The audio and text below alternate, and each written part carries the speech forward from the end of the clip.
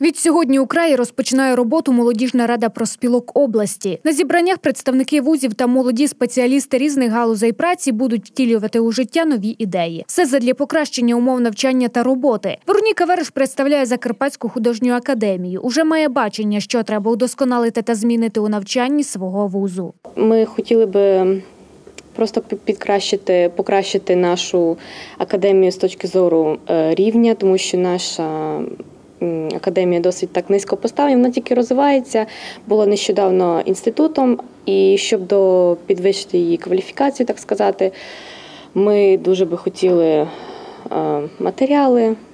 Е, Це все скоріше буде організовуватися студентами. Це е, молодіжна така акція. Представник іншого вишу УЖНУ Ростислав Головчанський каже, що зі свого боку буде лобіювати питання стипендії студентам та збільшення державних коштів на їх оздоровлення. Голова профкому студентів наголошує, що ці пункти наразі серед нагальних. Насамперед, це стипендійне забезпечення студентів.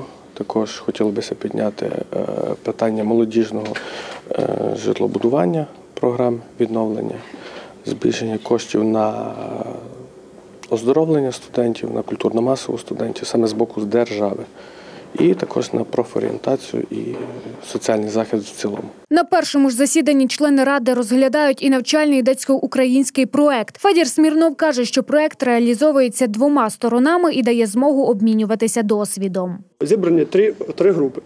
Перша група молодіжна, друга група вже більш досвідчених людей, і третя там вже взагалі різні керівники профспілкові. Тобто вони вивчають наш досвід роботи, діляться своїм, е, своїми тренінгами, семінарами, своїм нестандартним підходом до навчання. Зауважимо, що дотепер на Закарпатті молодіжної ради профспілок як такої не було. Тому старше покоління обіцяє підтримувати новостворену організацію. Нинішній голова обласних профспілок зауважує, що саме молодь є рушійною силою у розбудові сильної та стабільної держави. Ми зараз бачимо, які суди в нас, е, які е, інші структури силові.